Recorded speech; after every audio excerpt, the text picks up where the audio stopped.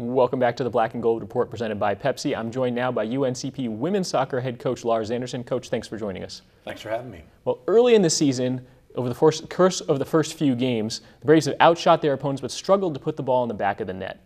What are some things you guys are working on to buck that early season trend and get some goals on the board? Well, obviously, we're uh, concerned that we uh, have not been very efficient in the final third. Uh, but I'm also an old dog. I've been around for 21 seasons, and I've had the good fortune of coaching a team to a national championship game on the men's side and taking three different universities deep into the national tournament. So I understand that, and I'm not suggesting that we're happy with uh, not not uh, producing goals early in the season, but I understand that conference play and, and your efficiency and your effectiveness later in the season is important. But obviously, these are issues that we're addressing.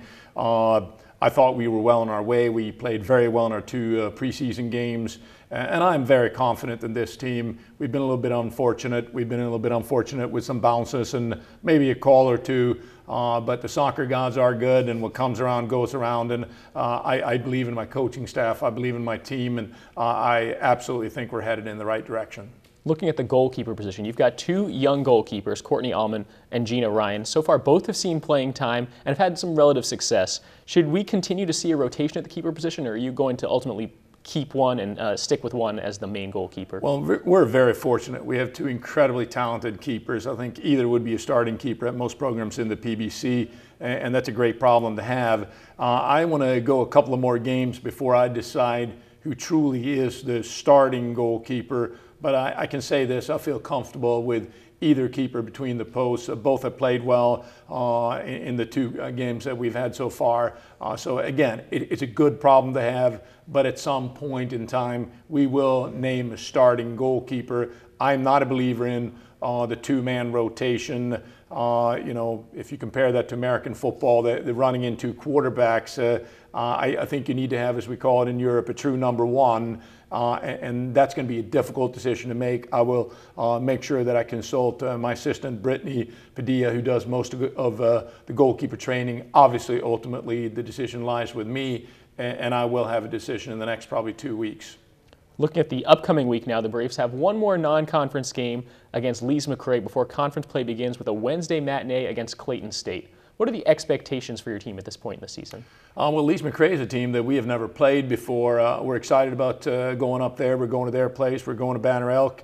Uh, and it's important that we look sharp and crisp and obviously come away with a W before we go into conference play. Um, Clayton State is a uh, outstanding opponent. We were fortunate to win the game 3 1 last year. Uh, probably outsmarted them a little bit. Uh, they're a very talented team. They have uh, Maria Marty Barty, who is uh, maybe the best player in our conference playing for them uh, in her uh, senior year. Uh, so they're, they're an incredibly tough opponent, uh, but we look forward to the challenge. Uh, as I always say, this is the best D2 conference in the country, and you don't want to play against the best. Don't, don't come join the PBC because that's what you're going to get.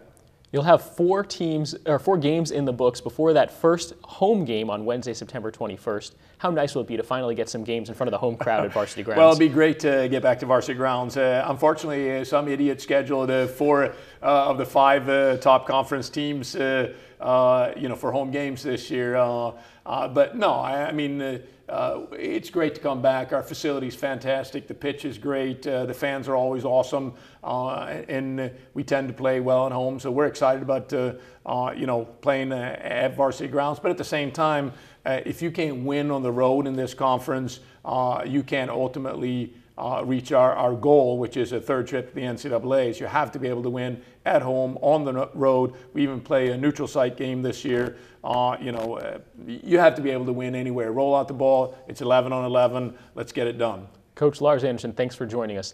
That's all the time we have for this week's show. For more information on UNCP athletics, including live stats and live video or audio broadcasts, visit uncpbraves.com. For our coaches and crew, I'm Cameron Songer. Until next week, go Braves.